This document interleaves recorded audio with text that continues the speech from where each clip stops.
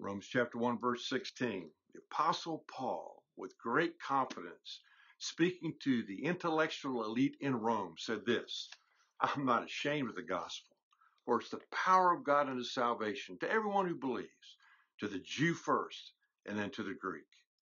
And so we've been talking about the fact that Jesus can meet every basic need of your life. And what we're talking about and focusing on now is that Jesus can meet your need and my need to be present in the midst of the storms of life.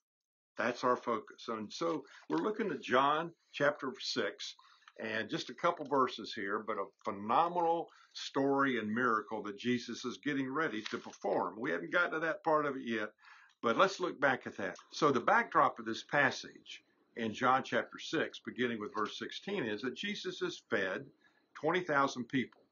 Uh, now we come to verse 16 in chapter 6. When evening came, his disciples went down to the lake, where they got into a boat and set off across the lake for Capernaum. By now it was dark, and Jesus had not joined them. So the backdrop is the feeding of the 20,000. Now we see that at verse 18, a strong wind was blowing and uh, the waters grew rough.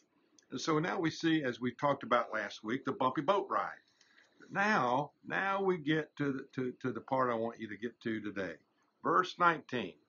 When they had rowed three, three and a half miles, they saw Jesus approaching the boat, walking on the water. Now, and then the scripture says that they were terrified. Well, let's look at that for a second. They saw Jesus walking on the water, and the response was they were scared to death. They were terrified. Walking on water?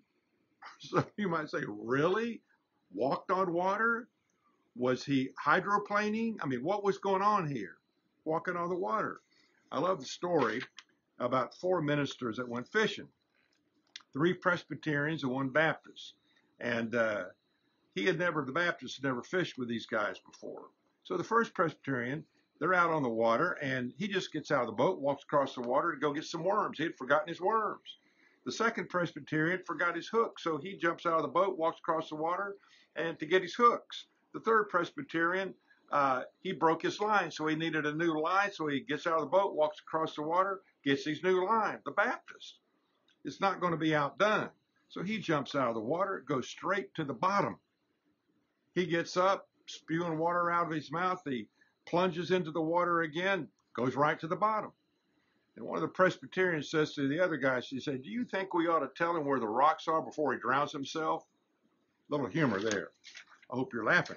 So here's here's they said in verse 19, they said they thought when they saw Jesus walking on the water coming towards them, they thought it was a ghost. And you say, what's the big deal about that? Well, you know, sometimes when Jesus comes towards us, how do we respond when he comes towards us and wants to help us? You know, we need to beware, as I made some notes here, we need to beware that we don't stiff arm Jesus. Maybe the help that he brings us is not the kind of help we want, but you better beware of your pride, your fear, and maybe even ignorance. And so, what's the conclusion for this today? Well, first of all, Jesus showed up. He came to those disciples when they were in trouble. He showed up. what that says to me is he feels what they felt. He understood what they were going through. In the darkest hour for these disciples, Jesus showed up. They were in trouble. They were full of fear. They were surrounded by the darkness of adversity. Jesus showed up. Somebody said this, and I think it's very insightful. Very often, the Lord, in His wisdom and His tough love, will allow a person to sink until he is all the way under the surface and there's nothing showing but the bubbles. Well, how about you? How about you? Here's what I want you to remember today Jesus, Jesus will show up for you. You can count on that. You think about it.